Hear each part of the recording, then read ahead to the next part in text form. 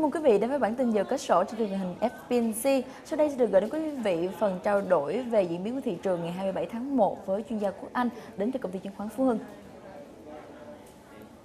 Vâng, xin chào anh. À, VN Index đã đánh mất 5 điểm khi mà thị trường chứng khoán Trung Quốc uh, mất hết 6% vào ngày hôm qua. Vậy thì trong trong phiên ngày hôm nay lúc mở cửa thì thị trường đã có diễn biến như thế nào? À, như chúng ta đã biết thì ngày hôm qua thì thị trường Trung Quốc ờ, chứng khoán Trung Quốc thì đã rơi là hơn 6% và cùng với đó thì là sắc đỏ nó lan rộng đối với toàn thị trường châu Á. Tuy nhiên thì là khi ở cái phiên vào ờ, thị trường chứng khoán ờ, Mỹ vào buổi tối á, thì là thị trường chứng khoán Mỹ đã giữ lại được cái sắc xanh và thị trường chứng khoán châu Âu cũng xanh được. Cho nên là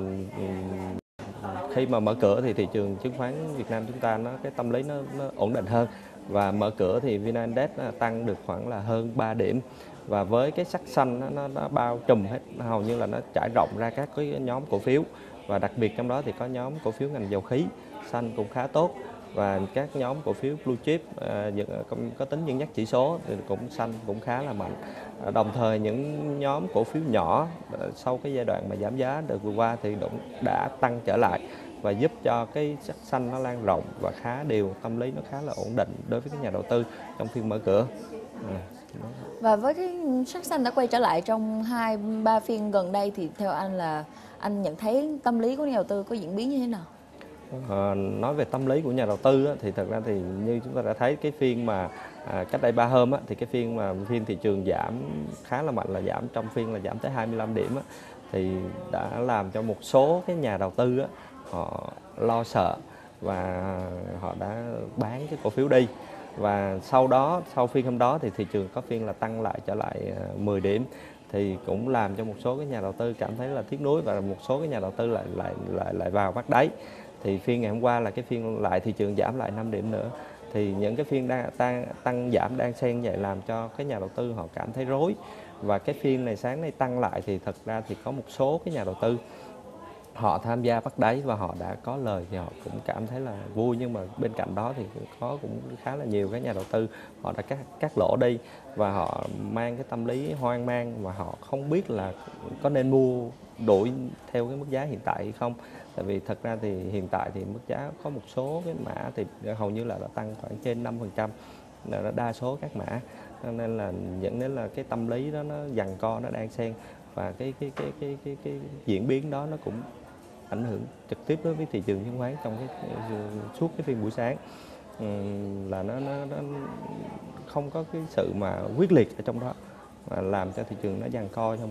gần gần, gần như hầu hết phiên sáng Vậy thì trong lúc mà thị trường diễn biến đang xen cứ tăng giảm tăng giảm như vậy thì anh có thể cho biết có thị trường có những diễn biến gì mà đáng chú ý trong phiên ngày hôm nay không? À, như trong phiên sáng á, thì chúng ta sẽ thấy là à, dòng tiền nó sẽ quay lại nó nó quay lại với các nhóm mà cổ phiếu penny cổ phiếu giá giá giá thị thị giá thấp. Và nó đã có cái mức giảm là khá lớn trong giai đoạn vừa qua. Chẳng hạn như là Việt Hàng Group sau cái giai đoạn mà rớt, rớt từ hơn 6.000 cho tới mức ngày hôm qua là khoảng 4.400 thì sáng nay đã bật lại tăng lại rất là mạnh và chưa hết phiên sáng là Việt Hàng đã dư mua trần với khá lớn và khối lượng giao dịch cũng đã là hơn 7 triệu cổ phiếu. À, đồng thời bên cạnh đó một số cái mã cổ phiếu penny khác chẳng hạn như uh, FLC, uh, KLF, uh, HAR đều có sự bật tăng trở lại. À, à, bên cạnh đó nhóm cổ phiếu như là IDI à, những nói chung là các cái cổ phiếu mà thị giá nhỏ mà trong giai đoạn vừa qua có cái, cái khoảng rớt là khoảng hơn 30% thì có cái sức bật tăng trở lại khá mạnh. À, còn những cổ phiếu khác những cổ phiếu vốn hóa lớn hay là vốn hóa vừa phải thì có sức cái cái sự tăng nó nó tương đối ít hơn. À, và đặc biệt đó là chúng ta sẽ thấy là à, cổ phiếu Hoàng Anh Gia Lai sau cái giai đoạn mà bị à, Ờ,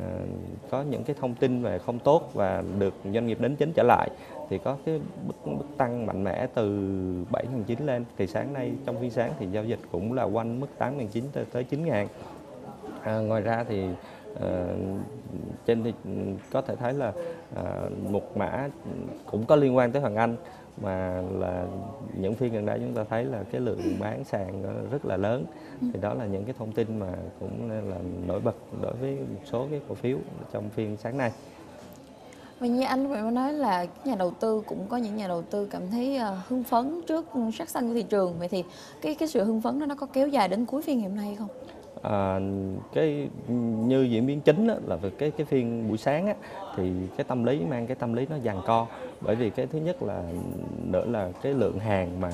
khi uh, cách đây 3 phiên về tài khoản là với khối lượng khá lớn là khoảng 160 triệu cổ đối với sàn hành uh, VN thì dẫn đến là các nhà đầu tư đang chần chừ. Và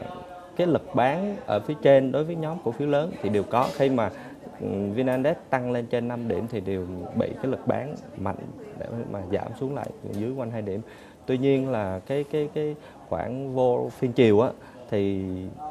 à, đến từ cổ phiếu BID đã làm cho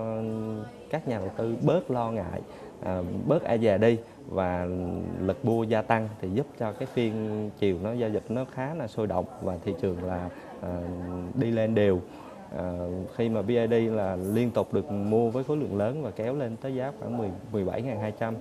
à, đã đã giúp cho cái thị trường tăng mạnh lên. Và kết phiên thì VN Index đó là tăng khoảng um, hơn 4 điểm gần gần 5 điểm